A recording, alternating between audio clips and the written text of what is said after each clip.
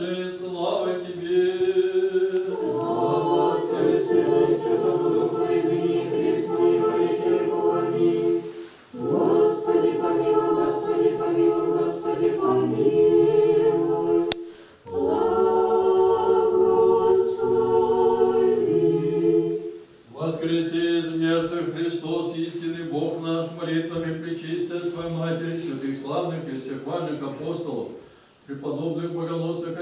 Наших и живых святых отца нашего Иоанна архиепископа Константина Града Златоустого, святого священномученика Конфима, епископа Никомедийского Климента, епископа Анкирского, и святые праведные Анны, Матери Пресвятые Богородицы, Олимпиады, Деканисы, Евпроксии и Макария, и же и памятный несовершаемый святых, праведный Богу Отец, Акимана и всех святых, помилует и спасет нас, яко благ и человека любит.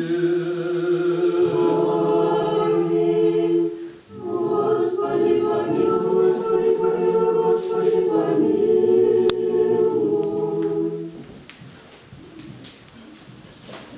Евангелие от Матфея, 9 глава.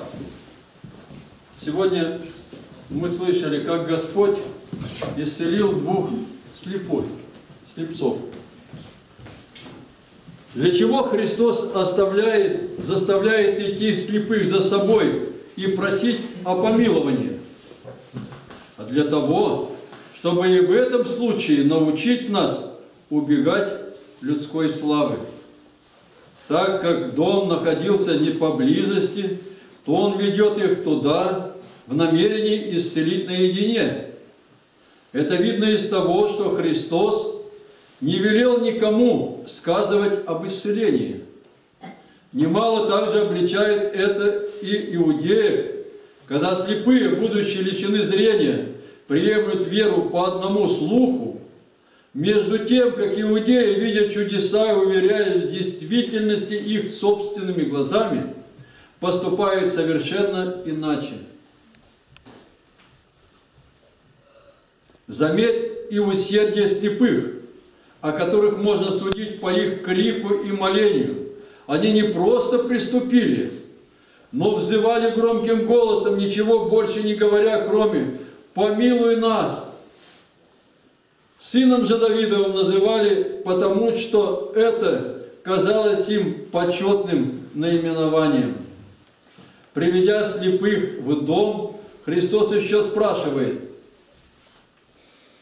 Он большей части исцелял только по просьбе, чтобы не думали, что он из честолюбия сам ищет случаев творить такие чудеса, а равно, чтобы показать, что исцеляемые им были достойны исцеления, и чтобы не сказали, что если он исцелил по одному милосердию, то надлежало бы всем исцелиться.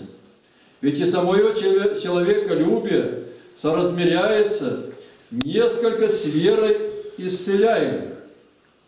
Но не по этим только причинам Христос требует от них веры, так как, они называли его сыном Давида, то возводя их к высшему понятию и научая, как должно разуметь о нем, он и спрашивает, веруете ли, что я могу это сделать? Что же они? Они отвечают, ей, Господи, уже называют его не сыном Давида, но парят мыслью выше и исповедуют его владычество.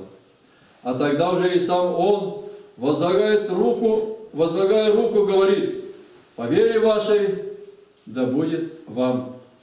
Делает это, чтобы укрепить их веру и показать, что сами они участвовали в своем исцелении, а равно и засвидетельствовать, что в словах их не было лести.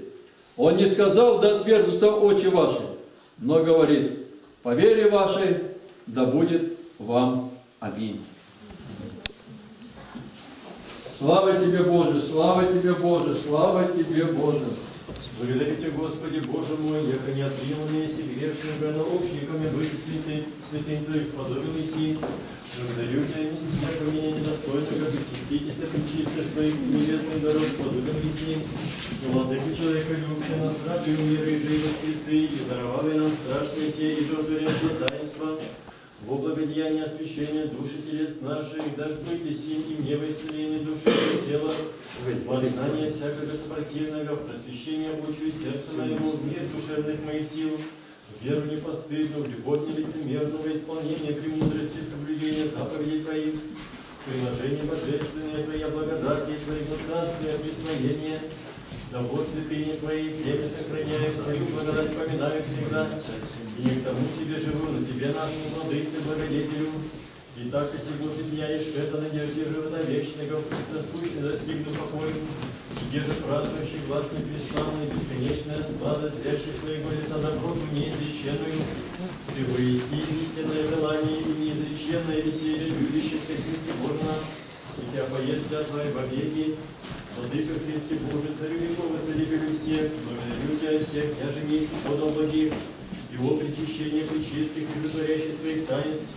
Молю, убыть облажи человека любча, сохрани меня под кровом Твоим, и все не придут Твоею, и даруй мне чистую совестью, даже до последнего моего издыхания, достойно причащайтесь от святых Твоих, в оставлении грехов и жизнь вечную, Вынесешь хлеб животный, источник святыни, податель благим, Тебе славу посылаем с Отцем и Святым Духом, ныне и присно и во веки веков. Аминь.